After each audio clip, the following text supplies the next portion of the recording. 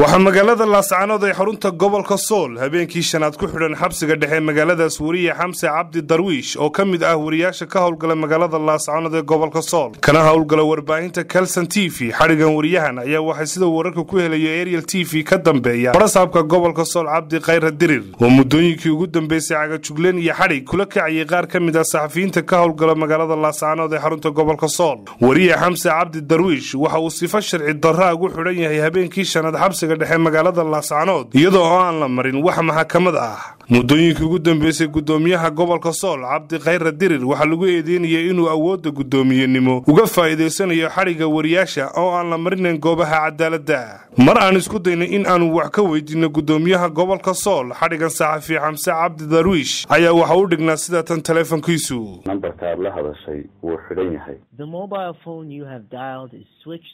Nambarka aad la hadashay wuu xidhan yahay. Dhanka kale waxaa gebi ahaanba muddooyinkii ugu dambeeyey meesha ka baxday doorkii ay ku lahaayeen ururka suxufiyiinta somalilan ee soolja oo ah kuwa u xil saaran ilaalinta xuquuqda suxufiyiinta somalilan. Waa maxamed bashiir nuur griig ariel t v. Hargeysa